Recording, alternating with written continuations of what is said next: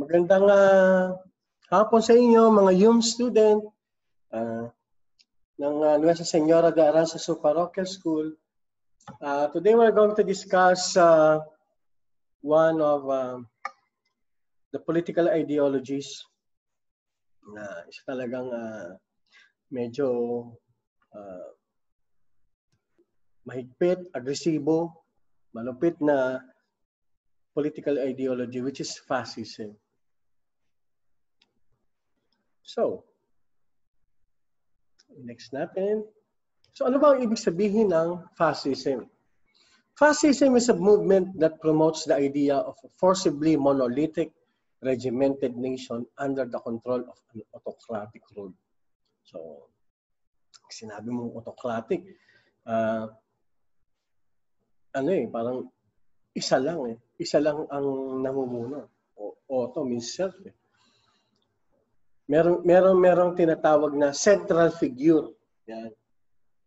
Unlike sa ibang mga uri ng uh, pamamahala na kung saan hati ang uh, hati ang kanilang uh, mga responsibilities and duties tsaka yung kanilang kapangyarihan. Pero dito sa fascism, medyo kakaiba talaga. Uh, gusto nila talaga uh, may isa, no? May tinatawag na strong man.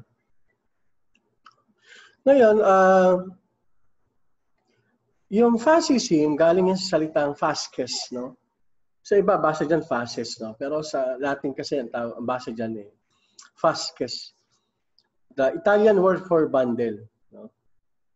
Uh, isang bugkos, which in this case represents bundle of people. Its origins go back to ancient Rome when the fasces or fasces was a bundle of food with an axe head carried by leaders. So ito yung fasces. Yan. So, yan yung sumisimbolo ng itong tao na to na dala, habang dala-dala niya yon ay uh, habang dala-dala niya yan, meron siyang kapangyarihan. Kung hindi ako nagkakamali, may isang Roman na farmer slash uh, dictator, no? Ang pangalan niya si Cincinnatus o Cincinnatus. Uh, hindi siya mahilig sa politika. Kaya kapag nasa pag peacetime, uh, nagsasaka lang siya. Kasi minsan, nung nagsasaka siya, nilapitan siya, at uh, nilapitan siya ng mga sundalo o ng mga, ewan kung senador ba yan, uh, inabot sa kanya yung Vasquez para sabihin na kailangan ka namin ngayong mga panahon na ito. So, ganun ang ginawa ni Cincinnatus. Naging parang diktador siya Uh, iba yung term dati ng dictator dictator sa dictator ngayon ah. Kasi meron ng negative cons uh, ne- negative connotation pag sinabi mong dictator. Iba yung dictator dati. So, naipanalo, naipanalo niya yung gera. Pagkatapos nun, ibinilik na naman niya yung Vasquez para i-relinquish yung kanyang kapangyarihan at tumuloy sa pagsasaka. Ba, maganda kung ganyan sana mga politiko natin, ano? Talagang uh, maganda sana yung uh, bansa natin. Although fascist parties and movements differed significantly from one another, they had many characteristics in common. Okay. Number one, medyo militaristic talaga sila. No? Extreme militaristic nationalism. Pinagagana nila ang kanilang militar in guise of nationalism.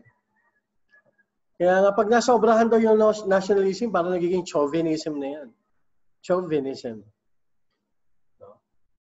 Uh, contempt for electoral democracy. Ayaw nila ng demokrasya o kapangyarihan ng tao. Siyempre, isa nga lang ang gusto nilang makapangyarihan. Political, ayaw din nila ng political and cultural liberalism. uh, a belief in natural social hierarchy and the rule of elites, and the desire to create a Fox Gemeinschaft Volksgemeinschaft o Ger, uh, people, sa German yan, ang ibig sabihin ay People's Community. Kailangan daw, uh, dito sa Volksgemeinschaft, ay uh, kailangan yung mauna ang interes muna ng nasyon, ng bansa, bago yung individual na interes. Uh, nagsimula talaga yung fascism, yung talagang political uh, ideology nito nung panahon ni nung uh, sa Italy kay uh, Benito Mussolini pero madadaanan natin mamaya. Ayan. Ayan si first fascist leader si Benito Mussolini. Kinuha niya yung pangalan na yon. Siyempre, doon sa salitang fasces. Ayan. Sa, na nagsisimbolize ng uh, authority ng ancient Rome.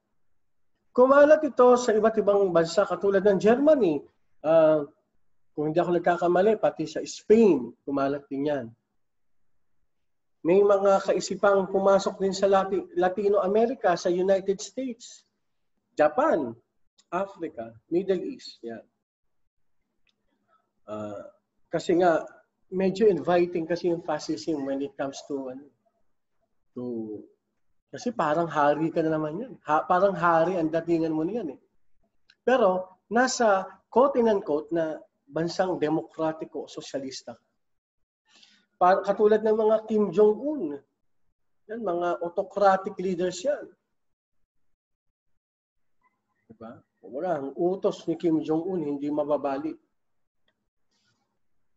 At the end of World War II, the major European fascist parties were broken up. So, talagang uh, actually in Italy saka West Germany. Okay bago mag 1989 nahati yung ano ah pagkatapos ng World War II pala nahati yung Germany sa East at saka West Germany. No, nagkaroon lang sila ng pagkakaisa ulit o yung reunification ng dalawang bansa noong 1989 kaya nakalagay diyan West Germany. Yung East Germany hawak yun ng mga Soviet after World War II Okay. So pagkatapos ng uh, ng World War II, ipinagbawal na ang fascism sa Italy at sa West Germany. In fact, sa Italy, uh, gumawa sila ng konstitusyon para pahinain ng husto yung pagkakataon ng isang presidente o prime minister na maging katulad na naman ni Benito Mussolini. So parang yung katulad sa atin, nung, kaya pinalitan yung Constitution noong 1973, eh, ng 1987 Philippine Constitution, ay dahil para maiwasan na daw ang uh, o maulit na, na maiwasan na maulit ang nangyari doon sa ginawa ni Marcos, yung martial law. Si President Marcos na uh, former President Marcos sa martial law. Beginning in the late 1940s, so nagkaroon naman ng fascist-oriented party sa Europe, tsaka sa Latin America. So ang tawag sa kanila ay mga neo-fascists. Galing sa salitang neo means new, fascist, syempre. Ide- political, yung political ideology. Attracted large followings, especially in Italy and France. None were as influential as the major fascist parties in the interwar periods. So, o bagamat may mga tumatayong uh, mga bagong fascist sa parties, ay hindi na siya ganun kapangyarihan. Ganun ka makapangyarihan. So, ano ba yung mga fascist things? Una, anti-rationalism. Although fascist political movements were born out of upheavals that accompanied in the First World War, they drew upon ideas and theories that they had been circulating since the late 19th century. Amongst the most significant of these were anti-rationalism and growth of counter-enlightenment thinking generally. Actually, nung panahon ni Hitler, sa kanila Mussolini, may time sa kanilang kasaysayan na yung mga libro, lalo na yung mga progresibong libro, pinakuha sa mga library at pinagpapasunog nila. Kasi ayaw nga nila ng mga paniniwala na hindi aakma sa paniniwala ng kanilang political ideology.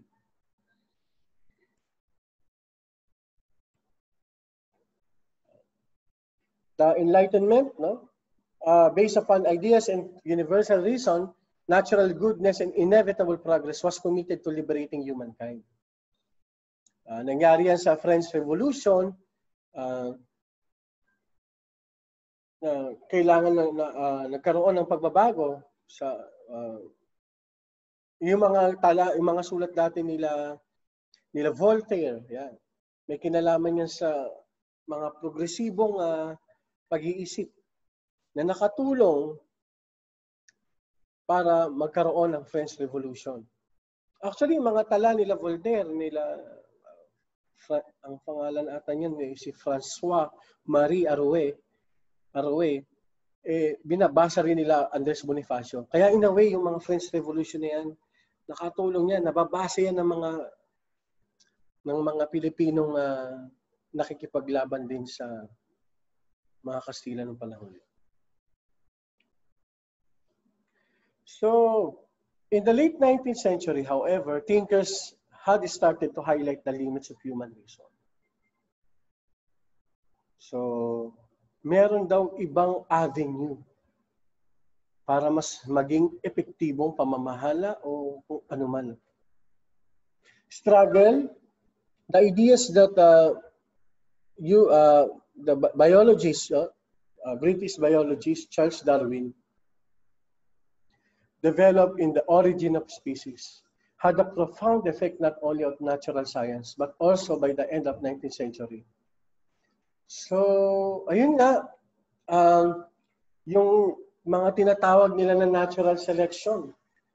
Uh, develop yan nila Herbert Spencer, no? Um, yung tinatawag na survival of the fittest na kung saan sa mundo daw may competition. Kung sino lang daw ang uh, magtatrabaho ng gusto at talentado, si, uh, sila yung makakakuha ng reward at ang mga tamad at hindi magagaling, sila'y parurusahan. Base dito, uh, naniniwala ang mga sa, ang mga tao sa fascism na uh, ang ang existence daw ng human beings ay nakabase sa competition or struggle. Kaya nga nagkaroon ng uh, ng World War I noong 1914. So imaginein mo, no? Yung lipunan nyo, pagbabasihan, halimbawa itong tao na to, ay wala, hindi, wala siyang kakayanan. Papatay na siya agad. Pwede gano'n. O kaya itong ta- itong tao na to ay may may halong ibang lahi na hindi desirable sa lahi na gustong ipakalat ng German nation, hindi na rin siya kailangan mag-survive. Kaya nga sinasabi daw na may 6.7 million na Hudyo ang namatay ng World War II because of this thinking. Well, hindi lang sila yung namatay, marami pa. No? Mas mas mas marami maraming namatay sa Russia. 28 to 35 million. Kasama na rin yung mga Russian Jews doon. Social Darwinism also had a consider considerable impact upon emerging fascism In the first place, fascism regarded struggle as the natural and inevitable condition of both social and international life. Only competition and conflict guarantees human progress and ensure the fittest and strongest will prosper. Kaya nga sa Germany noong 1930s, pinopromote nila yung mga tinatawag na Hitler Jugend o yung tinatawag na Hitler Youth in English. At ini-encourage nila maging violent ito. Maraming mga Boy Scout sa Germany ang napatay ng napatay ng mga Hitler Jugend.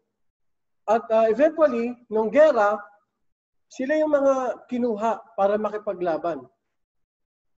At napakataas ng moral nito mga Hitler Jugend na to o yung Hitler Youth na to sapagkat nasanay sila sa struggle ng pakikipag-away sa mga Boy Scout at sa iba pang mga undesirable na political ideologies. Unfortunately, karamihan din dito sa mga Hitler-Jugend, sila rin yung mga unang namatay. Lalo na nung nasa Russia sila. Sabi nga sa mga kadete noong 1944, medyo patalo na si Hitler dito ng mga panahon na to, victory is to the strong and the weak must go to the wall. If the testing ground of human existence is competition and struggle, then the ultimate test is war, which Hitler described as an unalterable law of the whole of life. So, ang fascism lang ang tumitingin na okay ang gera. Sabi nga ni Mussolini, war is to men what maternity is to women. Diba? Yung pagbubuntis daw, ang pagiging ina ay para sa babae, ang gera naman daw ay para sa mga palalakihan. Leadership and elitism. Fascism also stands apart from conventional political thought in its radical rejection of equality. So talagang tumataliwas ito sa demokratikong pakikipaglaban lalo na ng mga French kasi isa sa mga isa sa mga motto nila yan yung liberté, égalité, fraternité. Liberty, equality, and fraternity, brotherhood. Sa fascism, hindi ubra yan. Masyadong elitista datingan. Patriarchal din. Hindi nila kinakala, kinikilala ang kapangyarihan at responsibilidad, kakayahan ng mga kababaihan. Na kasi naniniwala sila mga babae ay paanakan lamang. Actually, sa Germany, ginawa nila yan ng World War II. Yung mga babae, ipinapartner sa mga lalaki na makikisig ng mga lalaki para magkaroon sila ng makisig din na anak na gagamitin naman para sa susunod na henerasyon na maging mga sundalo. Ang absolute leadership daw ay elite rule ay natural at desirable. Dapat, karapat dapat. Uh, naniniwala daw ang mga fascists na may tatlong uri daw ng tao. Una, uh, merong supreme, all-seeing leader who possess unrivaled authority. Benito Mussolini, yan. Kaya nga talagang kinikilala yan. Na, na isa na siya yung nagtatag ng uh, fascism. Kasi nga, actually, ang mga sinusunod talaga, talaga nila, bukod yung sa socialism, sinusunod din nila yung, ano, yung Il Principe o yung The Prince ni Niccolo Machiavelli. Yan yung mga kailangan daw kasi sabi na doon sa tala na yon ng The Prince ni Niccolo Machiavelli, kailangan daw ang leader ay isang unscrupulous. Loko-loko talaga, pero dapat magawa niya ang kanyang mga dapat gawin bilang leader. Kaso, alam mo na, pag uh, parang Bible yan, pag kahit yung statement the same, pero yung interpretation iba-iba. So magkakaroon ng iba't ibang interpretation tungkol sa sinabi ni Nicola Machiavelli. Okay, ulit. Una, supreme. Pangalawa, may mga warrior elite. Ito yung mga exclusively male and distinguished unlike traditional elites by its heroism, vision, and capacity to self-sacrifice. Mga sundalo.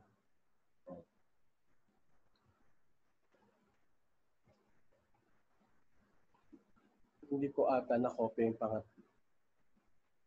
The fascist approach to leadership especially in Nazi Germany, was crucially influenced by Friedrich Nietzsche. Na idea na Ubermensch, Ubermensch o Superman. Yan yung mga fascists. Bukod kay Niccolo Machiavelli, naniniwala din sila kay Friedrich Nietzsche. Yung konsepto ng tinatawag ng Ubermensch. Overman o Superman. Supremely gifted or powerful individual the most fully developed in thus spoke Zarathustra. Nietzsche portrayed the Superman as an individual who rises above the herd instinct of conventional morality and lives according to his own will and desires. So, pag sinabi mong herd instinct, no, ibig sabihin kung ano na yung nakasanayan ng mga ng lipunan, yun yung susundin natin. Pero yung mga tinatawag na Ubermensch, o mga Superman, hindi sila naniniwala doon. Kaso nga lang, ginawa nila yung Superman na uh, ideal theory ng pagiging supreme and unquestionable politic, political leadership. Yan. Halimbawa, yung mga leaders na yan, may mga titles sila. Halimbawa, ito si Mussolini. Uh, tinawag niya yung sarili niya na Il Duce. Habang, habang si Hitler naman ay tinatawag niya yung sarili niya na Der Führer. Kumbaga parang dahil sa pamamagitan ng title na yun, parang pinapakita nila, I am the supreme leader.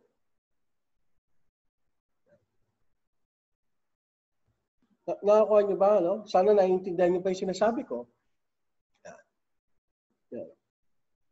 At ang kanilang mga utos ay uh, hindi pwedeng mabali. Actually, may mga batas sila na galing direkta sa kanila. Actually, nung panahon din ni Marcos, may mga ganyan, yung tinatawag na presidential decree.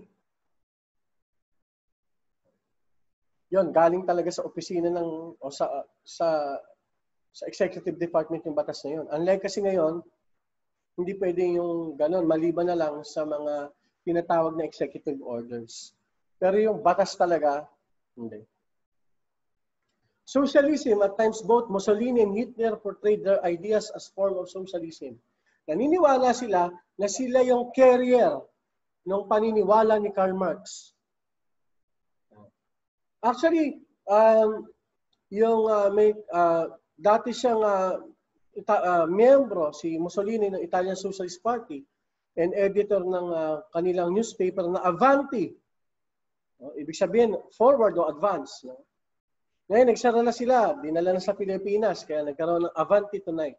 Pero joke lang yon. No? Ava- uh, although they have the same meaning. No? Avanti means forward o advance. Pero iba yan, Avanti.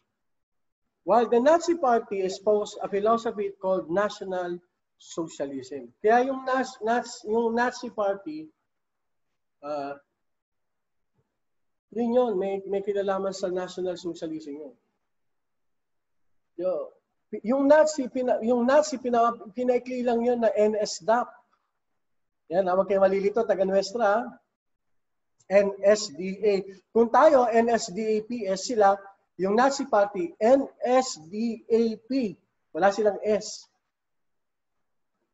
Parang ibig sabihin yung ata, National Socialist. Parang NS, Nationalist, so, National Socialist. Der Arbite Party. National Socialist Workers Party ata ibig sabihin. To some extent, undoubtedly, this is represented a cynical attempt to elicit support from urban workers. In first place, lower middle class fascist activists have profound distaste for capitalism. So, ginamit nila yung uh, yung fascism para i-invite yung mga tao na surang-sura na sa kapitalismo yung sa sobrang pang-abuso sa mga manggagawa. Ultranationalism o jingoism o chauvinism. Yan ang mga term na ginagamit dyan. Okay. Fascism embraced an extreme version of a tradition of chauvinistic and expansionist nationalism that had developed before the First World War. Um, expressed in European imperialism. This tradition regarded nations not as equals and interdependent entities, but as natural rivals in a struggle for dominance. So, kaya madalas sa Europe talaga lagi nag-aaway kasi ganun nga, eh, hindi sila, hindi amorous yung relationship nila. Laging gera. France, Britain, laging magkaaway yan. Germany, magkaka, mga magkakaawa yan. Italy, pati Spain, Portugal, lahat siya sa Europe. Kailan na sila nagkaroon ng matinong re- relationship, yung nagkaroon ng tinatawag na European Union. Pero hindi pa rin matino. Kaya nga umalis siguro yung Britain. Kasi nga nakikita niya yung disadvantage ng European Union. Kaya nagkaroon ng Brexit noong 2014 ata. fascist nationalism did not preach respect for distinctive cultures. In the explicitly racial nationalism of Nazism, this was reflected in the ideas, ideas of Aryanism. Sila daw yung master race.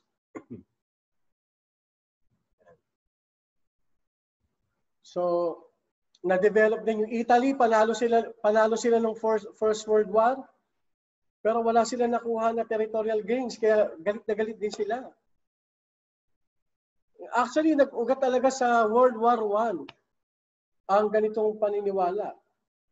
Kasi yung Germany, feeling nila parang sobrang tinalo na nga sila, tapos inabuso pa sila ng gusto.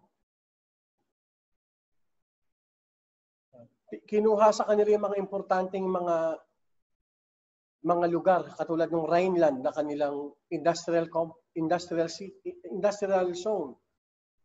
So paano sila uunlad? Kaya noong 1920s, so nagkaroon ng uh, Great Depression, isa sa mga hardest hit ang Germany.